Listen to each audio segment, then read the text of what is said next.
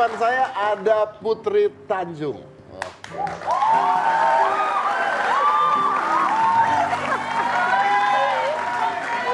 Itu kenapa ada yang tepuk tangannya kencang sekali? Itu kalau tidak sahabat Anda pasti itu dibayar itu. Sahabat gue. Oh sahabat Anda bawa sahabat Iya, ke sini iya ya. dong. Luar biasa untuk ya nggak apa-apa untuk memeriahkan ya. Betul. Biar semangat. Langsung aja ini kita lagi bicara tentang entrepreneur, terus Ya. kita bicara juga tentang milenial sebenarnya. Ya. Karena kan entrepreneur milenial mereka harus jadi Oh, satu iya, sekarang kan. betul. Ya, menurut lu milenial sekarang tuh seperti apa? Aduh, milenial sekarang sebenarnya ada dua sih. Ah. Jadi menurut gue milenial seka- milenial sekarang tuh luar biasa banget. Ah. Menurut gue ide-idenya bagus, Bagus. eh, inovasinya juga luar biasa. Tapi banyak yang alay-alay juga banyak. Terus banyak yang sekarang spiritnya luar biasa banget, ya kan? Cuma memang banyak banget milenial, apalagi ini milenial yang mau jadi pengusaha ya, itu Iya. maunya semua serba instan mas. Contoh, semuanya serba cepat aja gitu nggak mau susah-susah dulu nggak mau eh, kan biasanya kalau mau jadi pengusaha tuh prosesnya panjang ya ada jatuh bangunnya. Oke. nah biasanya tuh di tengah-tengah udah udahlah gitu. Jadi eh, cepat gampang menyerah. Gampang menyerah. betul. Oke, Kalau misalnya lu sekarang lu eh, lu punya duit? Ya. 10 juta, oke. Cuman 10 juta ya, ya. Lu ngapain? 10 juta. Ya. tapi gue udah udah punya event kan. Ini gue apa nih? Oh, enggak, totally nggak punya apa-apa.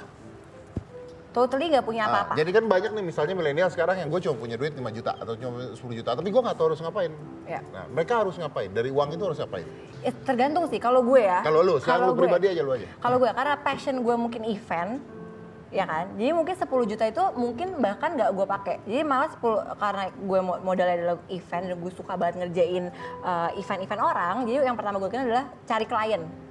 Oke. Gue cari klien, abis itu gue dapat dapat uang dari klien dan gue mengerjakan event klien gue. Tanpa pakai yang 10 juta. Iya, karena 10 juta itu buat modal nantinya.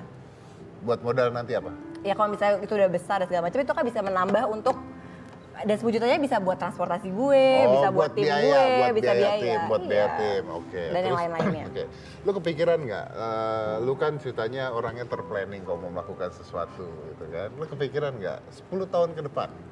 Putri Tanjung tuh jadi apa ya? 10 tahun ke depan punya keluarga, insya Enggak, enggak, enggak, Allah. enggak, enggak, yang begitu, kayak begitu, enggak begitu. Itu jawabannya basi, gua nggak mau jawaban. Punya keluarga, punya anak, bahagia, happy ending, Cinderella, enggak, enggak. Eh, oke. Apa 10 tahun ke 10 tahun depan? lagi gue pinginnya insya Allah masih bisa ada di industri kreatif, masih bisa menjalani kreatif partner, bisa terus menggedekan kreatif partner, bisa bantuin bisnis bapak juga. Eh, intinya gue pinginnya bisa terus berkarya dan bermanfaat untuk banyak orang aja karya-karya gue. Kenapa sih? Kenapa kenapa event? Kenapa, eh, event? kenapa lu nggak jualan roti gitu? Atau lu jualan baju? Lu laku dong kalau jualan baju. Lu bikin butik apa kayak gitu kayak kan selesai. kan? Karena kenapa event? Karena gue awalnya kan mulainya emang event dan gue tuh suka banget mas. Loh, ya tapi kan ribet bikin event tuh. Lu kalau sekarang nih ya, lu keluar aja ke luar negeri lah beli-beli tas-tas mahal, lu jual lagi kan Tapi jalan. gue juga punya PO. Gue juga punya. Oh, lu juga punya PO? Iya, jadi semua yang gue bisa bisnisin, gue bisnisin mas. Oh, jadi banyak. Iya, alhamdulillah. Tapi kenapa, kenapa sih? Kenapa event? Kenapa event? Karena kan awalnya waktu umur gue umur 15 tahun, gue tuh mulainya di event. Dan gue tuh tercemplung di event sebenarnya. Gue kecemplung di event, dan sekarang gue lagi menjalankan event. Dan memang lagi senang-senangnya membangun si event creator ini. Dan gue melihat ada opportunity. Ah. Karena kan uh, kreatif per event creator ini kan bikin acara-acara yang edukatif dan entertaining. Dan sebenarnya Oke. tuh belum banyak yang memang acara-acara yang khusus ngebahas soal entrepreneurship, soal kreatif entrepreneurship. Nah makanya gue lihat oh kita ada peluang nih sementara anak-anak muda Indonesia banyak banget yang mau jadi pengusaha. Ini yang lu kerjakan karena mimpi lu mau melakukan seperti itu atau karena lu punya kesempatan? Beda. Gue punya kesempatan. Tapi mimpi lu bukan itu. Eh, mimpi gue pingin terus berkarya dan gue pengen gue sekarang gue akhirnya punya mimpi banyak banget untuk event creator gue. Tapi awalnya gue mulai itu bukan mimpi gue, Awalnya bukan mimpi lu. bukan. Awalnya bahkan gue nggak kepikiran mau bikin event. Mimpi lu apa dulu? Mimpi gue apa ya dulu ya? Kayak waktu itu intinya Power Ranger merah gitu misalnya. mimpi gue sebenarnya dulu simpel banget sih mas. Apa? Pengen ngebuktiin ke diri sendiri kalau gue bisa berkarya sendiri. Karena dari dulu kan gue selalu ada pressure di mana iya dengan betul ayah. betul. Jadi gue tuh sangat gak percaya diri dan gue nggak tahu gue bisanya apa sukanya apa gitu. Jadi gue tuh waktu itu awal mulainya adalah gue pengen membuktikan ke diri gue sendiri dan mencari sebenarnya gue bisanya apa.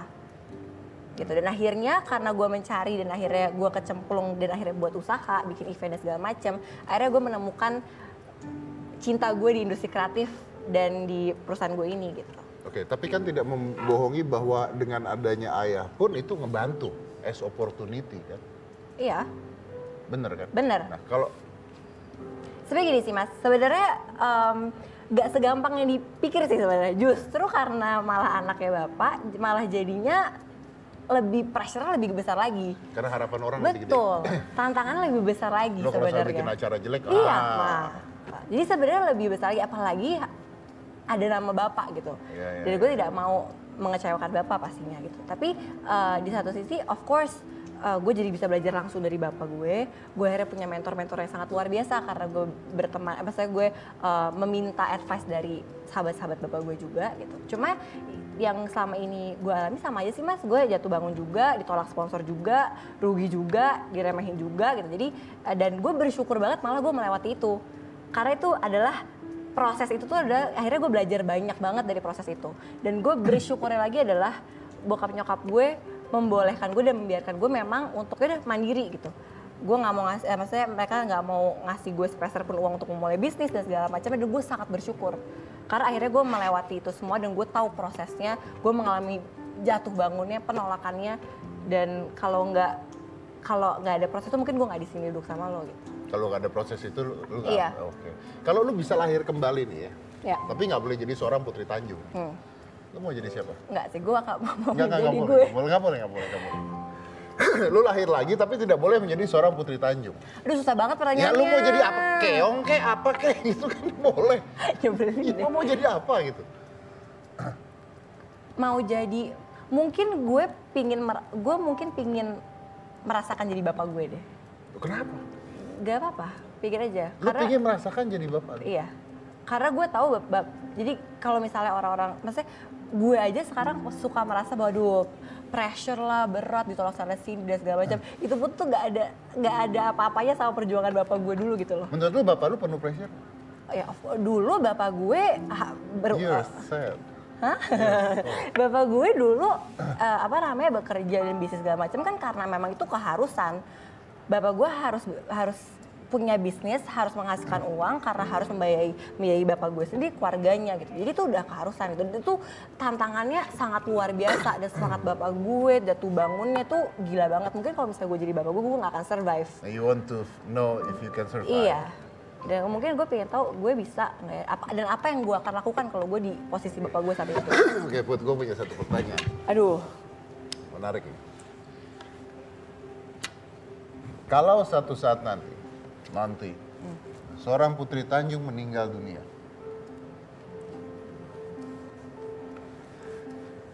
Tapi seorang Putri Tanjung boleh menulis nisannya sendiri.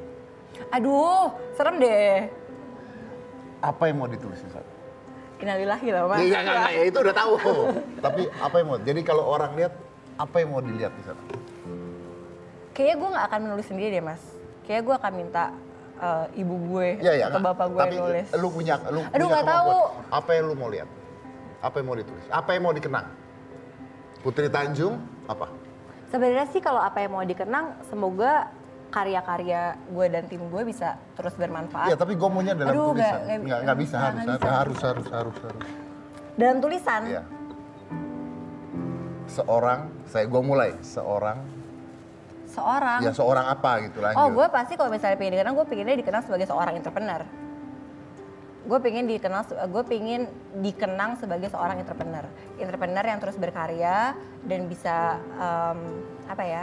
Intinya karya gue akan terus. Jadi gini, sebenarnya kalau misalnya gue meninggal nanti, gue pingin karya-karya yang udah gue bangun sama tim gue dari awal dari 2014 itu akan terus akan terus berjalan dan semakin besar dan semakin besar dan semakin bisa membantu banyak anak muda, bisa terus menjadi wadah dan bisa memajukan industri kreatif di Indonesia walaupun gue udah nggak ada gitu. Berarti tulisannya bisa continue the spirit. Bisa. Thank you. Oke.